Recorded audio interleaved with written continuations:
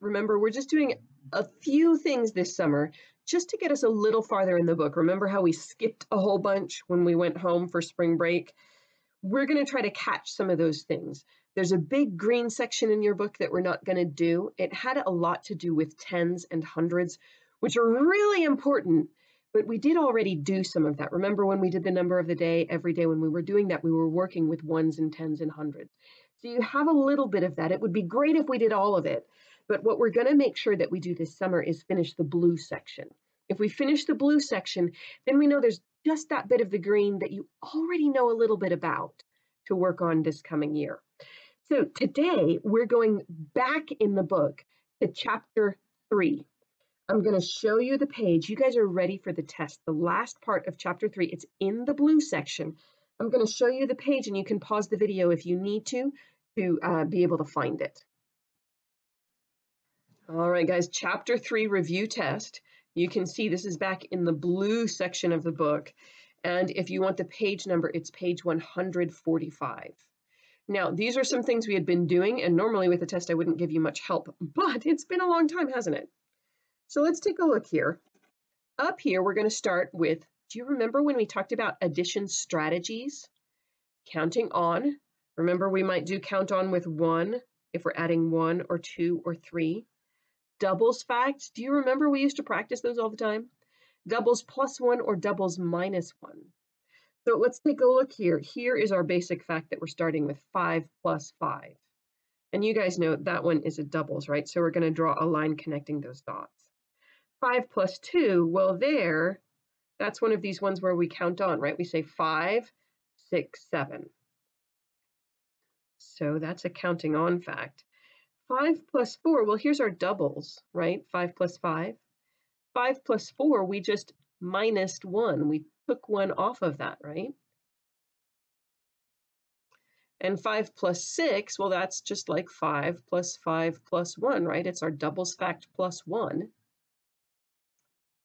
Doubles plus 1. Whew, is your brain remembering doing this stuff? All right, use counters in a 10 frame. which we don't really have, do we? So instead, we're going to be using our writing tools. Yeah, so I'm going to use red and I'm going to use yellow to make my drawing be accurate. When you guys pick up your work, your extra materials from me tomorrow, then uh, then you'll have 10 frames to work with. So do you remember how we did that? We took these last ones, because see we have two empty spaces. So we're going to take these two and stick them up in there. And now one, two, three, four, five, six, seven, eight, nine, ten, full 10 frame. And I'm going to color them in a little bit to remind myself. You guys can be doing this along with me. And then here, I can write the amount in my 10 frame. My 10 frame is full now, right? See, up here, five, six, seven, eight, that first number showed how many red ones were in the 10 frame. Now up here, I'm going to show how many red ones are in the 10 frame and it's 10, right? Because it's a full 10 frame. Now I'm looking here at the yellow ones left. We moved these, didn't we? We put them up here. So they're not there anymore, but now I have this row of five counters. One, two, three, four, five.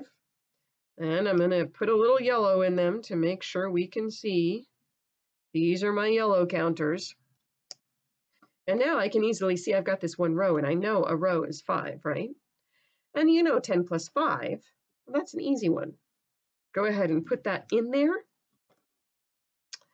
Look at the cubes, complete the addition sentences showing two ways to find the sum. Do you remember if we're adding three numbers together, we're going to choose two to add together first and then the other one. So let's look here.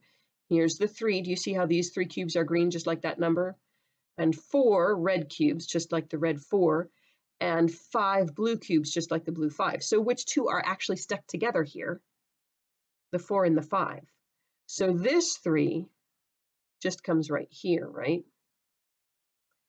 The four and the five are going to go together right there. What's four and five together? Figure that out quickly, write that down. And then, guys, you can use counting on, right? Now, for right here, oh my goodness, I hope you're not counting up all those cubes. Oh my goodness, use a strategy, strategy, strategy, you're first graders. Look at these strategies. oh my goodness, 5 plus 4 equals 9. That's a doubles minus 1. 5 plus 5 is 10. 5 plus 4 is 1 less than 5. Right? So we're first graders, so we don't just count all those up. That's a kindergarten strategy. We're first graders. 3 plus 9. So here we can use counting on, right? So we can say 9, 10, 11. All right, now you can see, do you see the red and the green are put together here? And the blue one is by itself. So this blue one is 5, right? So the blue one goes right there on that line. But now the green one is going to go on this line, and so is the red one because they're put together now. So three and four, you can use count on, you could use doubles plus one, you could use doubles minus one. We had doubles minus one right here. Let's do it here too. Four plus four is what? You know that. Three plus four is one less. So what's one less than four plus four? Put that number here, add them together, and write the sum. All right. Now we're starting to fill in circles. Rick has 10 shells. He finds four more shells. How many shells does Rick have now? You guys remember this, right? When we're adding something to 10, that's easy. All right. Which number sentence matches the model? Do you guys remember this? We used this for practicing counting on. Here what we have is 8 in the box, right? And then we say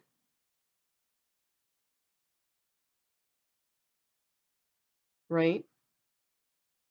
So you should be able to see from here, we had eight, we didn't add nine.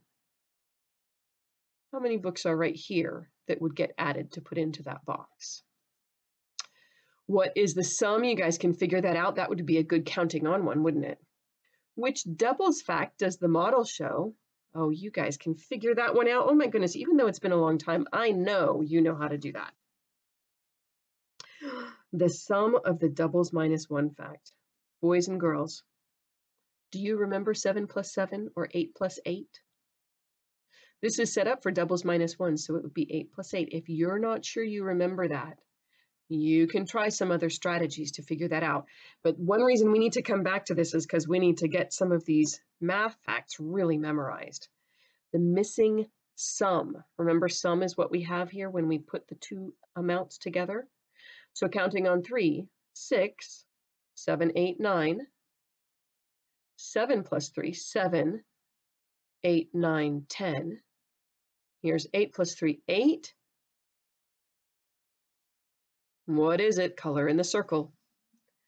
Which shows the same addends. Remember, here's an addend. Here's an addend. Which one shows these same addends in a different order? All right, and which shows how to use doubles to solve 9 plus 8. So let's take a look here. You remember back on this page when we looked at the doubles fact? Do you see how they were the same height? So if we're looking at these being the same height, this one here is an extra one, isn't it? So we want to say, how much is this? Plus how much is this? Plus that one there. And remember, it could go in a different order. We might start with this one and then add those in.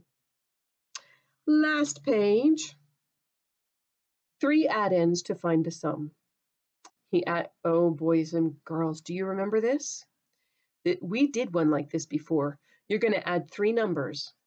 So let's try 1 plus 2 plus 3. Because remember, we want to experiment. We want to try things out and check it against our facts. And then if it doesn't meet our clues, then we're going to change it. So that is three numbers, right? So we can do that first one. Add doubles. Do we have a doubles in here? We don't. This will not work. There's no double. Which one of these do you want to double? We could double the one or double the two or double the three and then add another one. Why don't we go with doubling the three? Three plus three. There's our doubles fact. Now have we added three numbers? We haven't. So you guys are going to choose another one. Make a 10 to add. Oh my goodness, that was so long ago. Boys and girls, that means we need to get something here to come up to being a 10 or more than 10. So we can't put a 1 here, can we? because you guys know 3 plus 3 is 6. If we have 3 plus 3 plus 1, does that get us to 10? It doesn't. 3 plus 3 plus 3, does that get us to 10? It doesn't. You're going to need to have a pretty big number in there, not an enormous number, but not like 1 or 2 or 3 to get to 10. So down here, you guys are going to be showing what you did. You're going to put the numbers here. You're going to add two of them together first and then add the third one in. Remember that? All right, this is going to be the thing to send me a picture of. So, boys and girls, I know that was not super short, but compare it to how much work you've been doing every day for the last few weeks. You guys have got built so much stamina for working that even just doing math once in a while is still going to be like a complete vacation for you because you've got this stuff. It's just going to be a bit of a switch because we've been doing all this stuff with geometry and shapes and measuring, and now we got to switch back to some adding and subtracting. So that switch, you know, your brain's going to have to do a little switching around, but you guys know this. We can do this enjoying summer at the same time. So you probably already did your field day experiences for today. If you didn't, go ahead and do them now with your family. Have some fun with field day, and we'll do some more math next week.